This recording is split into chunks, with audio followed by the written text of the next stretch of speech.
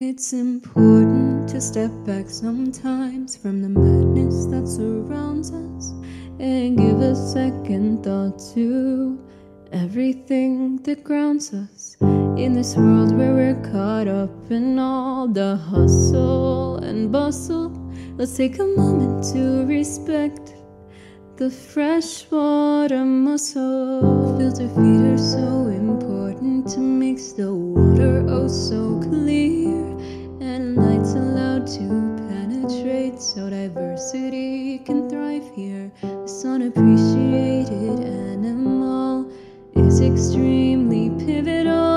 but the many threats they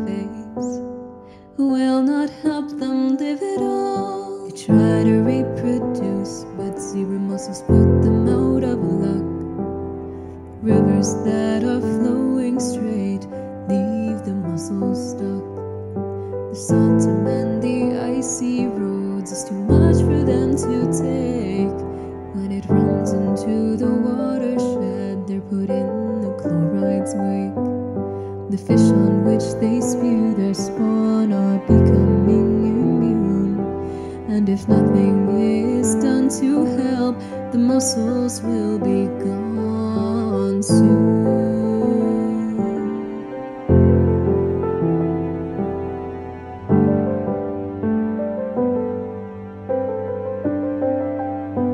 These mussels have a foot inside that helps them. They've got gills too to let them breathe in their shell that keeps them strong. They've even got a heart in there that beats and pumps their blood. But they just look like little shells you'd find buried in the mud. The females have a lure that looks just like fish bait. They attract the fish and spew their young, it's how they procreate. And the babies attached to the fish, which carry them around until they grow enough to fall right off back to the river ground. The invasive zebra mussels eat their babies and rapidly reproduce, while their positive impact is minuscule and their negative one profuse. Freshwater mussels aren't the ones that should be so heavily which is why it is important to have zebra mussels eradicated. There are so many issues that these mussels have to face. The climate's changed, they become estranged, and we must preserve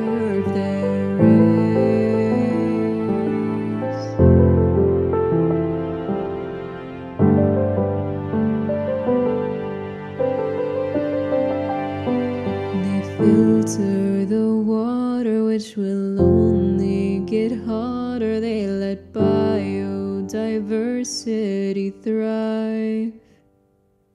The shells can be a living space for small creatures that may need a place to keep themselves alive.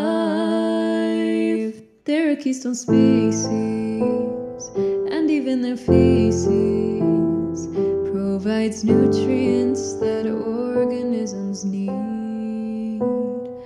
We may not deserve them, but we need to preserve them. And we can start with one good deed. If you would like to help, there are many ways you can. You can spread the word about these issues, you can help to make a plan to keep these mussels around and keep their ecosystem